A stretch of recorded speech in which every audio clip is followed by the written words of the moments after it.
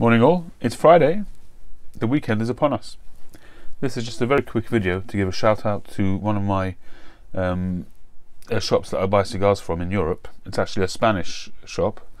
Um, it's called cigarshoplumo.com, I think it is. Search um, Lumo cigars and you'll find it. I think it's cigarshoplumo.com. Um, and their service is just absolutely second to none. They're not the cheapest in Europe, that's for sure, but the prices still compare very, very well, obviously, to the UK because our taxes are just through the roof. Um, but the service is just phenomenal.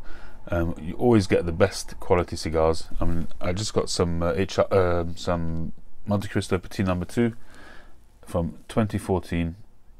Beautiful, beautiful looking wrapper on these, and um, the crazy thing is, these were ordered yesterday, and they've arrived. It's now 9:20 a.m. Um, I was interacting with him, with Alberto, is the guy that I talked to, um, and the deal was done yesterday around four o'clock in the afternoon. It's just crazy, you know. It, it, you're talking about maybe 15, 16 hours, and it's here on my doorstep. Some H. Upmann number uh, Mag 54, really nice and dark, from the month when they came out, which is December 16. Uh, around that kind of time, anyway. Um, so I just really wanted to champion that uh, particular vendor.